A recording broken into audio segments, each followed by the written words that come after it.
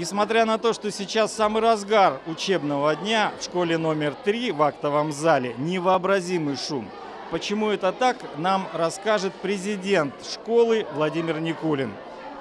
Здравствуйте. Сегодня у нас проходит а, деловая игра «Ярмарка», а, в которой дети могут а, поучаствовать в роли а, предпринимателя. Большая часть ассортимента юных предпринимателей составляла кондитерские изделия.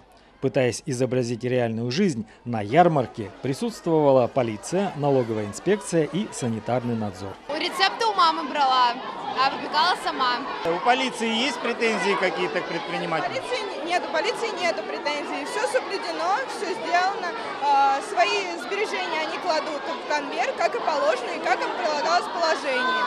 А вам взятку никто не предлагал? Хотели бы? Ну нет, я честный поли... честная полиция.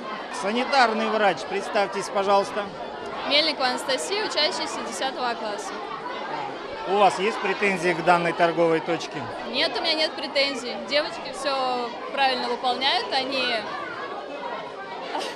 кладут, э, дают покупателям на перчатками с помощью перчаток или с помощью салфеток. Выручка у предпринимателей была вполне реальная. 20% решено было отдать на восстановление городского летнего театра, 30% в фонд школы и 50% юные торговцы могли оставить себе. Хотя, видимо, не все, как и в реальной жизни, усвоили законы рынка. Дети, а вы знаете то, что 50% от всей стоимости отдаются вам? Нам это не сказали. Как это вам не сказали? А Нам какой вы класс? Какой класс? Пятый Г-класс. Александра Николаевна. Ну, Интересно. ваши комментарии. Ну, наверное, дети не услышали. А, у нас было собрание в актовом зале, я его проводил, и все классы приходили, вся школа, с 5 по 11, и я им все это рассказывал. То есть вы им обещаете, что 50% им достанется? Конечно. Ну вот так вот легко, вот так вот легко и просто восстановить справедливость в отдельно взятой школе.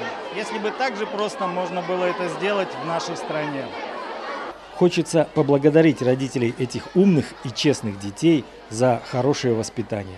И надеемся, они не растеряются, когда жизнь поставит перед ними настоящие вопросы. Если бы я стал президентом, да, конечно. Какой? Ну, четко следить,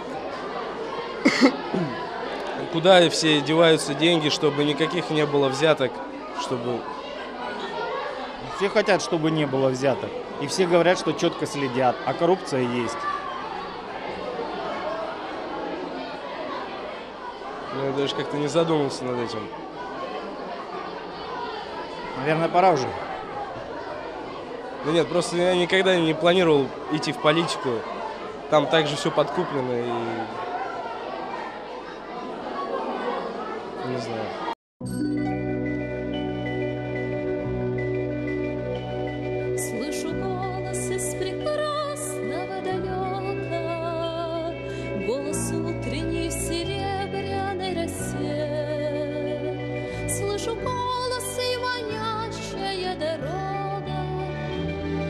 может, город.